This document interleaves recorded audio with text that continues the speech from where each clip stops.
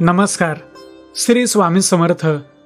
मित्रांनो नवीन वर्ष सुरू झाले आहे आणि या नवीन वर्षाच्या पहिल्या दिवसाची सुरुवात जर आपण देवाचे नाम घेऊन म्हणजे देवाची पूजा करून केली तर नक्कीच आपला वर्षाचा पहिला दिवस आणि संपूर्ण वर्ष देखील चांगलं जाईल. तर मित्रांनो आपल्या प्रत्येकाच्या घरामध्ये देवघर असते. आणि आपण नित्य नेमाने आपल्या या देवघरामध्ये देवपूजा करत असतो. प्रत्येक प्रकारचे मंत्रजप पूजा आपण अगदी मनोभावे आणि श्रद्धेने करत असतो. प्रत्येकजण उपवास व्रत करत असतात. तसेच आपण देवपूजा करून झाल्यानंतर आपण देवी देवतांना नैवेद्य देखील अर्पण करत असतो. मग हा नैवेद्य गुळ साखरेचा असो दूध साखरेचा असू दे किंवा खीर असू दे कोणत्याही गोड पदार्थाचा नैवेद्य आपण देवाला दाखवत असतो.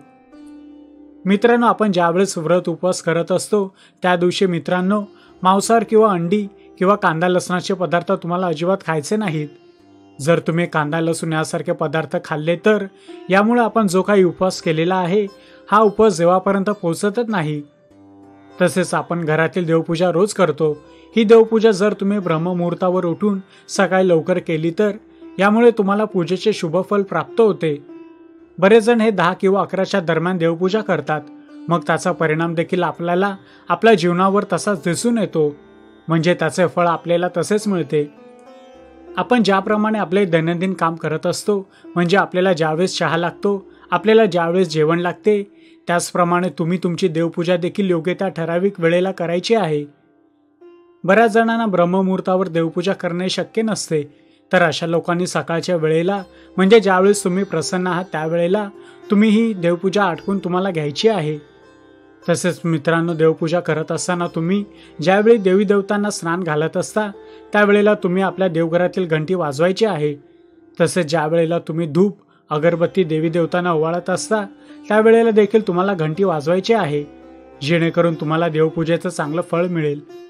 मित्रांनो आपण प्रत्येकजण देवपूजा झाल्यानंतर जो पदार्थ घरात बनवला असेल तो नैवेद्य म्हणून देवी देवतांना दाखवत असतो.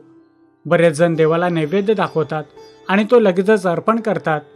परंतु मित्रांनो असे न करता तुम्ही तो नैवेद्य थोडा वेळ देवी देवतांसमोर ठेवायचा आहे आणि नंतर थोडा वेळ झाल्यानंतर हा नैवेद्य कुटुंबातील सर्वांना हा नैवेद्य तुम्हाला वाटून टाकायचा आहे. हा नैवेद्य सगळ्यांनी वाटून खाल्ला तर यामुळे आपल्या घरामध्ये एकोपा राहण्यास मदत होते. म्हणजे ज्या काही भांडण तंटे कटकटी असतील तर त्या सर्व काही निघून जातात.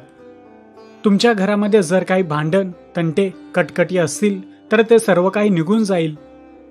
म्हणजे मित्रांनो कधी देवपूजा झाल्यानंतर जो काही आपण देवी देवतांना नैवेद्य दाखवत असतो तो लगेचच आपल्याला ग्रहण करायचा नसतो.